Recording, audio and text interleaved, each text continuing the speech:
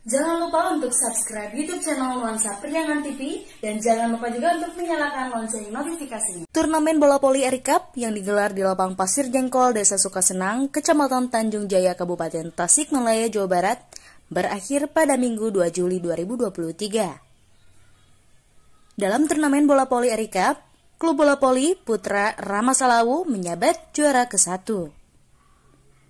Sedangkan untuk tim bola voli wanita berhasil diraih oleh klub SMK Al-Huda, Kecamatan Sariwangi, meraih juara ke-1.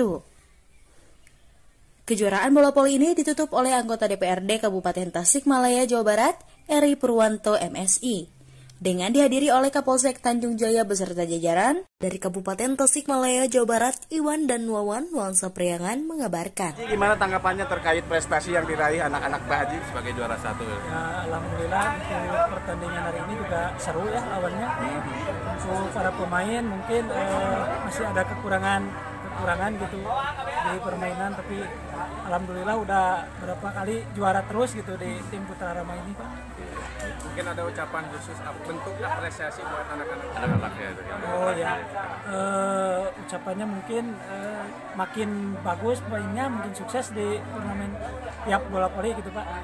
Sekarang untuk ke ke depannya di permainan di mana Pak? Untuk ke depannya mungkin tim ini akan tetap solid Pak. Sekarang juga masih untuk menghadapi dua turnamen lagi Pak di depannya. Ya, berarti untuk latihan terus biar Ya, di Mungkin ini kan eh, anak asuhan Pak Haji ini kan juara terus. Mungkin ada alat yang khusus Pak. oh ini ngetim lah Pak gitu. Jadi ke mana-mana dibawa gitu. Gak gak sampai gimana lah dibawa terus itu tiap turnamen maupun ada undangan-undangan gitu. Siap. Satu lagi Pak, harapan ke depannya Pak buat anak-anak Ya, harapannya mungkin bermain lebih bagus lagi gitu biar lebih kompak lebih solid gitu.